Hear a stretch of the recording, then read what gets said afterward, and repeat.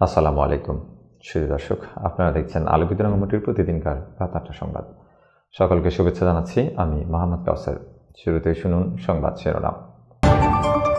নানিয়ারচরে অস্ত্রসহ ইপিডিএফ প্রসিত দলের সন্ত্রাসী আটক।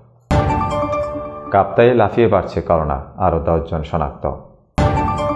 চিতমরমে জঙ্গলে বেঁধে গৃহবধূকে ধর্ষণ, ধর্ষক পলাতক। দেশে গত চব্বিশ ঘন্টায় করোনায় মৃত্যু দশ জনের। দর্শক, এতক্ষণ শিরোনাম শুনলেন। এবারে বিস্তারিত।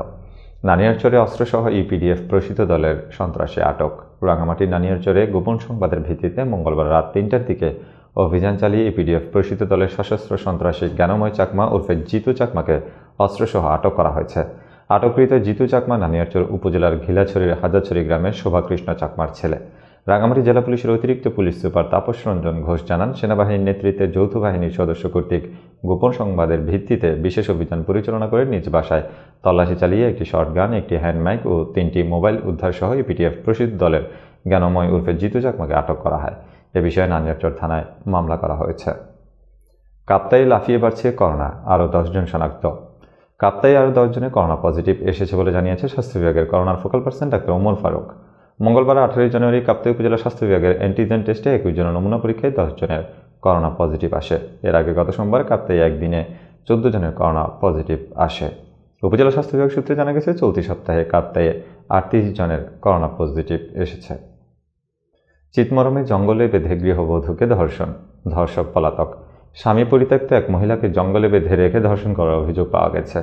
ঘটনাটি ঘটেছে গত সোমবার রাত প্রায় নয়টায় কাপ্তাই উপজেলাধীন চিতমরম ইউনিয়নের চার নং চঙ্গাছড়ি এলাকায়। অভিযুক্ত ধর্ষক একই গ্রামের লাখুই মারমার ছেলে চুমং ও মারমা। ঘটনাটি জানাজানি হওয়ার পর থেকে ধর্ষক চুমং পলাতক রয়েছে বলে এলাকাবাসী জানিয়েছে। মঙ্গলবার আঠারোই জানুয়ারি সকালে ধর্ষিতাকে তার আত্মীয় স্বজন উপজেলা স্বাস্থ্য কমপ্লেক্সে নিয়ে আসলে বেলা বারোটার পর ডাক্তারি পরীক্ষার জন্য তাকে রাঙামাটি জেনারেল হাসপাতালে পাঠানোর সময় ওই গৃহবধূ, উপস্থিত চিকিৎসক এবং সংবাদকর্মীদের জানান, তাকে গত সোমবার রাতে এলাকার ছুমং ও মারমা তার বসতবাড়ির পাশের জঙ্গলে হাত, পা ও মুখ বেঁধে জোরপূর্বক ধর্ষণ করেছে। বাধা দিলে লম্পট ছুমং তাকে মারধর করে। এ সময় তার শরীরে বিভিন্ন অংশে আঘাতের চিহ্ন দেখা যায়। চন্দ্রকোনা থানার ওসি মোহাম্মদ ইকবাল বাহার চৌধুরী জানান, মঙ্গলবার খবর জানার পর পুলিশ সদস্যরা ঘটনাস্থল এবং হাসপাতালে ছুটে যায়। এ বিষয়ে ডাক্তারি পরীক্ষার প্রয়োজন রয়েছে, তাই ডাক্তারি পরীক্ষা শেষে তদন্তের মাধ্যমে আইনানুগ ব্যবস্থা গ্রহণ করা হবে। ওসি আরও জানান, এ ব্যাপারে এখনও কেউ থানায় মামলা দায়ের বা অভিযোগ করেনি।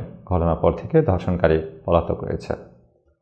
দেশে একদিনে করোনার মৃত্যু দশ শনাক্তের হার তেইশ দশমিক নয় আট। দেশে গত চব্বিশ ঘন্টায় করোনা ভাইরাসে আক্রান্ত হয়ে আরও দশজনের মৃত্যু হয়েছে। এ নিয়ে দেশে মোট করোনায় মৃত্যুর সংখ্যা দাঁড়াল আঠাশ হাজার একশো চৌষট্টি জনের। মঙ্গলবার স্বাস্থ্য অধিদপ্তরের সংবাদ বিজ্ঞপ্তিতে এসব তথ্য জানানো হয়। বিজ্ঞপ্তিতে বলা হয়, গত চব্বিশ ঘন্টায় পঁয়ত্রিশ হাজার চুয়ান্ন নমুনা পরীক্ষার বিপরীতে আট হাজার চারশো সাত জনের শরীরে করোনা শনাক্ত হয়েছে। এ নিয়ে দেশে মোট করোনা রোগীর শনাক্ত সংখ্যা দাঁড়াল ষোলো লাখ বত্রিশ হাজার সাতশো চুরানব্বই জনে। নমুনা পরীক্ষা হিসাবে শনাক্তের হার তেইশ দশমিক নয় আট শতাংশ। এতে আরও বলা হয়, গত চব্বিশ ঘন্টায় করোনা ভাইরাসের সংক্রমণ থেকে চারশো পঁচাত্তর জন সুস্থ হয়েছেন। এ নিয়ে দেশে মোট করোনা থেকে সুস্থ রোগীর সংখ্যা পনেরো লাখ তিপ্পান্ন হাজার সাতশো পঁচানব্বই জন। সেই দর্শক, এ ছিল আমাদের আজকের আলোকিত রাঙ্গামাটির রাত আটটা সংবাদ। ধন্যবাদ এতক্ষণ সাথে থাকার জন্য।